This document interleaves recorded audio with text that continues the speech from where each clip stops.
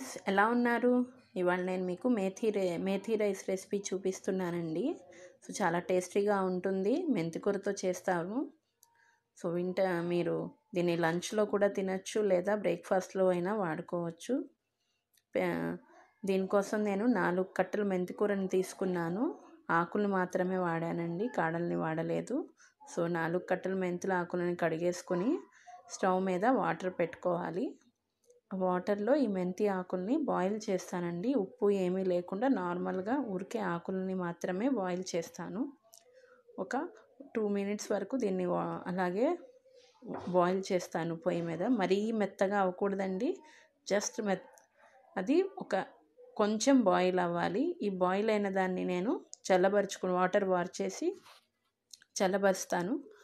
చల్లబరిచి దీన్ని పేస్ట్లా వాడు పేస్ట్లా చేసేస్తాను. ఇప్పుడు ఒక ప్యాన్ పెట్టుకుందామండి. ప్యాన్లో ఆయిల్ యాడ్ చేశాను. సో కొంచెం ఆయిల్ వేడైన తర్వాత మన రైస్ క్వాంటిటీని బట్టి ఈ ఆకుల్ని పెంచుకోవచ్చు మనం. సో ఇది నేను త్రీ మెంబర్స్ వరకు వచ్చేస్తుందండి ఇది ఈ రైసు.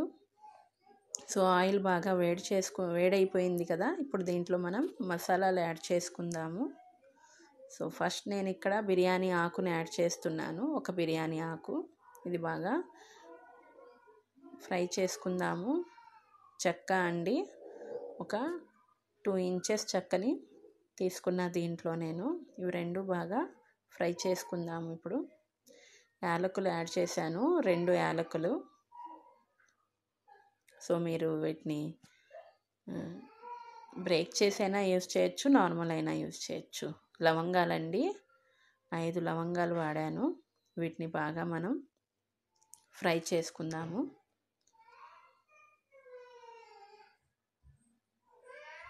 సో మంచి స్మెల్ వస్తూ ఉంటుందండి ఇది. ఇప్పుడు దీంట్లో జీరాని యాడ్ చేశాను. సో ఒక స్పూన్ జీరాని ఫ్రైలో వాడుతున్నాను ఇక్కడ. సో ఇవి మొత్తం బాగా ఫ్రై అయిపోవాలి. జీరా కలర్ మారుతుంది కదండి అప్పటి వరకు ఫ్రై చేసుకుంటే సరిపోతుంది. ఇదంతా లో ఫ్లేమ్ మీదే చేస్తున్నా నేను. ఆనియన్స్ అండి. ఒక ఒక ఆనియన్ని నేను చాప్ చేసుకున్నాను సన్నగా తరిగి.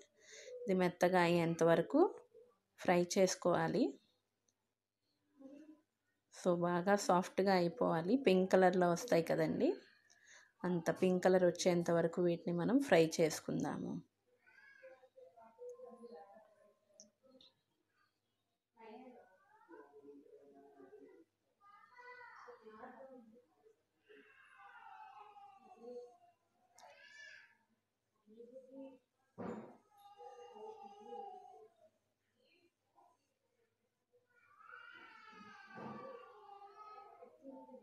సో మీకు మెంతి కూర దొరకకపోతే అండి మనకి మార్కెట్లో డ్రై మెంతి కూర కూడా దొరుకుతుంది కదా అది కూడా యాడ్ చేసుకోవచ్చు దీంట్లో.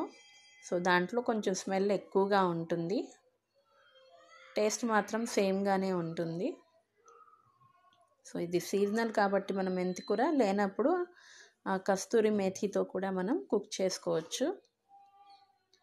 ప్రాసెస్ ఇదే ఉంటుందండి. కాకపోతే ఇది మనం కస్తూరి మేథి అయితే మనం వాటర్లో బాయిల్ చేయము అంతే. సో ఆనియన్స్ వేసుకున్నాను. ఇవి కూడా చిల్లీస్ వేసుకున్నాను. నేను కొంచెం స్పైసీగా ఉండాలని ఐదు చిల్లీస్ని కట్ చేసుకుని వేసాను. అవి కూడా బాగా మెత్తగా అయ్యేంత వరకు మనం దీంట్లో ఫ్రై చేసుకుందాము.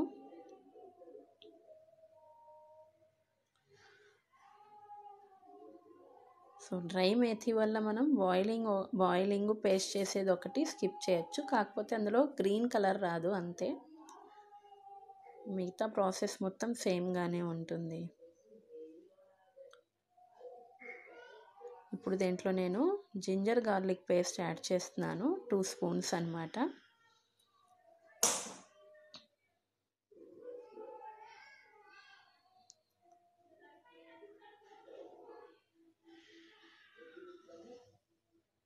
సో ఇది కూడా బాగా ఫ్రై చేసుకోవాలి.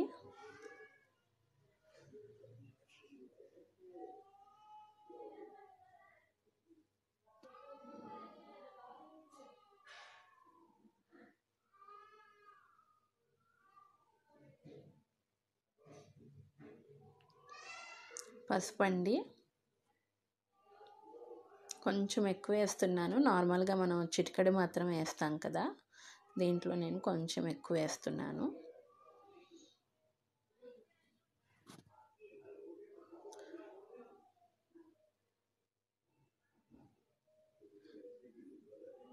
సో మనకి నైట్ రైస్ కూడా మిగిలిపోతూ ఉంటుంది కదండి ఒకసారి. దాంతో కూడా ఇది కుక్ చేసుకోవచ్చు. మనం పులిహార ఎలా కుక్ చేస్తామో అలాగే ఇది కూడా అలాగే మిగిలిన రైస్తో కూడా కుక్ చేసుకోవచ్చు.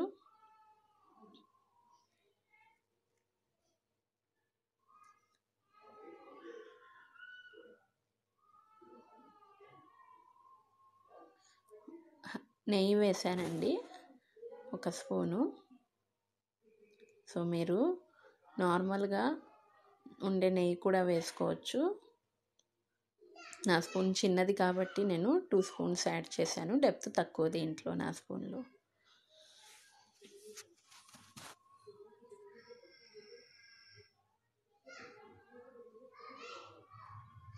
సో ఇవన్నీ బాగా కుక్ అయిపోవాలి మెత్తగా అయిపోవాలి. ఈ ప్రాసెస్లోనే బాగా మెత్తగా అయిపోవాలండి ప్రతిదీ. టొమాటోస్ అండి. చాప్ చేసుకున్నవి. రెండు టమాటోస్ తీసుకున్నా నేను. సో ఈ ప్రాసెస్లోనే ఆనియన్స్ కానీ పచ్చిమిర్చి కానీ టొమాటోస్ కానీ మగ్గిపోవాలి బాగా. సో ఇంకా మనం కుక్ కుక్ చేసేదే ప్రాసెసే ఇది. ఇంకా తర్వాత మిక్సింగ్ ఉంటుంది అంతే సో జాగ్రత్తగా మెత్తగా అయ్యేంత వరకు మనం కుక్ చేసుకోవాలి. టొమాటోస్.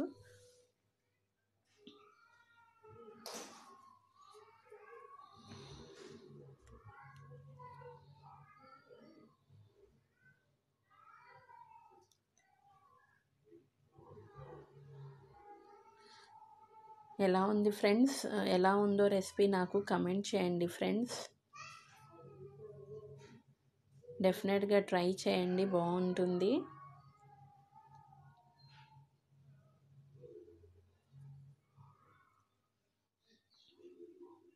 సో సిమ్లోనే నేను దీన్ని కుక్ చేసుకున్నాను.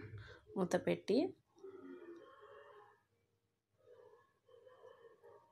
సో ఇవి ఇంకా మెత్తగా అవ్వలేదు. సో ఇంకొంతసేపు మనం కుక్ చేసుకుందాం వీటిని. వాటర్ యాడ్ చేయాల్సిన అవసరం లేదండి. ఆవిరిలోనే కుక్ అయిపోతాయి. మీకు లేదు అనిపిస్తే కొంచెం చిటికెడు వాటర్ని యాడ్ చేసుకోవచ్చు. సాల్ట్ వేసానండి కొంచెం. సో మనం రైస్లో ఆల్రెడీ సాల్ట్ ఉంటే ఇందులో మనం ఈ టమాటోస్ ఈ ఈ గ్రేవీ కోసం మాత్రమే యాడ్ చేసుకోవాలి. టమాటోస్ బాగా మగ్గిపోయినాయి కదా ఇప్పుడు దీంట్లో మనం మిగతా ఇంగ్రీడియంట్స్ వేసుకుందాము. ఫస్ట్గా నేను దీంట్లో గరం మసాలా యాడ్ చేస్తున్నాను టూ స్పూన్స్ తీసుకున్నాను. ఇంకా కస్తూరి మెథిని యాడ్ చేశాను. ఈ కస్తూరి మెథిని మీరు కావాలంటే స్కిప్ చేసుకోవచ్చు. స్మెల్ బాగుంటుంది కాబట్టి నేను కొంచెం యాడ్ చేశాను.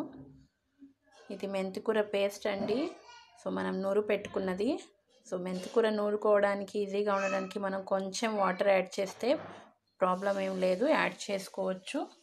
ఆ పేస్ట్ ఇది. సో దీన్ని కూడా ఇది మనం హాఫ్ కుక్ మాత్రమే చేసాం కదా. సో కాస్త పచ్చివాసన పోయేంత వరకు దీని మీద దీన్ని మనం కుక్ చేసుకుందాము. మీరు కావాలనుకుంటే కొంచెం వాటర్ యాడ్ చేసుకోవచ్చు.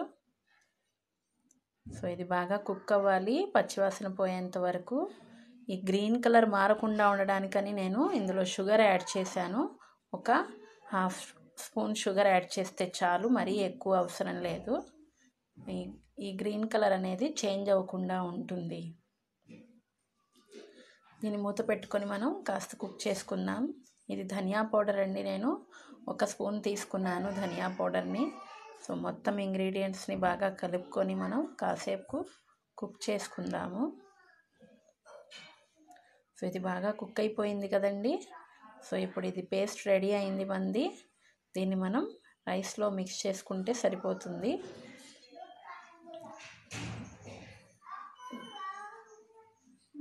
సో ఒకసారి అన్నీ చెక్ చేసుకోవాలి టమాటోస్ అన్నీ. సో ఇప్పుడు దీంట్లో నేను కొంచెం పుదీనా ఆకులు వేశాను పెద్ద గిన్నెలో మనం రైస్ తీసుకుందామండి. పొడి పొడిగా చేసుకోవాలి అన్ని రైస్ని. ఇందులో నేను ఇప్పుడు ఈ మెంతికూర పేస్ట్ని యాడ్ చేస్తున్నాను. సో ఏ పేస్ట్ అయితే మనం కుక్ చేసుకున్నామో రెడీ పెట్టుకున్నామో ఆ పేస్ట్ అండి ఆ మిక్చర్ ఇది. సో మొత్తం రైస్కి పట్టేటట్టు బాగా కలుపుకోవాలి. మొత్తం రైస్కి రైస్ మొత్తం ఈ మెంతికూర పేస్ట్లో కలిపేయాలి.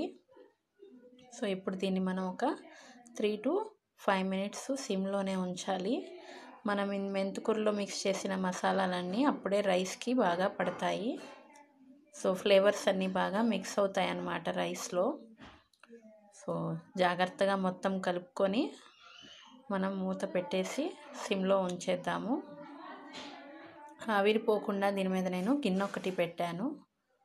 సో ఇది ఇప్పుడు రెడీ అయింది కదండి. ఇప్పుడు మనం సర్వ్ చేసుకోవచ్చు. రెసిపీ ఎలా ఉంది? కమెంట్ చేయండి. మీకు రెసిపీ నచ్చితే షేర్ చేయండి మీ ఫ్రెండ్స్తో. చాలా మంచి రెసిపీ అండి. ఈజీగా రెడీ అవుతుంది. టేస్ట్ కూడా చాలా బాగుంటుంది. సో నా ఛానల్కి సబ్స్క్రైబ్ అయితే మీకు ఇంకా రెసిపీస్ దొరుకుతూ ఉంటాయండి. ఇలాగే డిఫరెంట్ రెసిపీస్. బెల్ ఐకాన్ని కూడా క్లిక్ చేయండి ఫ్రెండ్స్. Thanks for watching.